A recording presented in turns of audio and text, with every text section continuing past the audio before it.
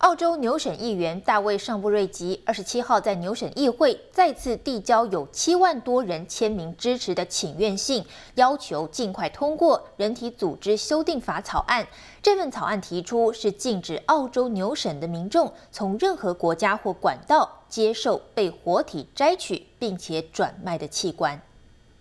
十一月二十七日是澳大利亚牛省议会在二零一三年的最后一次会议。议员大卫·尚普瑞吉先生再次递交了有七万两千名悉尼民众签名的请愿信，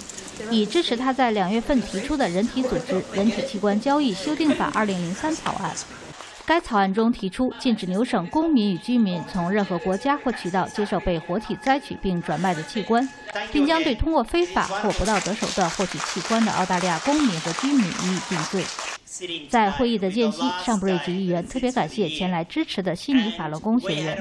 尚布瑞吉这个议员他提出的这个啊议案的草案呢，会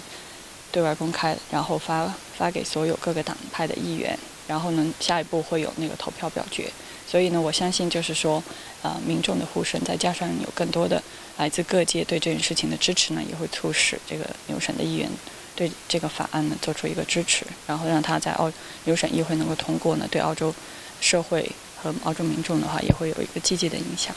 上布瑞吉议员共递交了有十七万签名的请愿信，这也是牛省议会收到的有史以来最多的签名。新唐人记者李子莹，已经澳大利亚悉尼采访报道。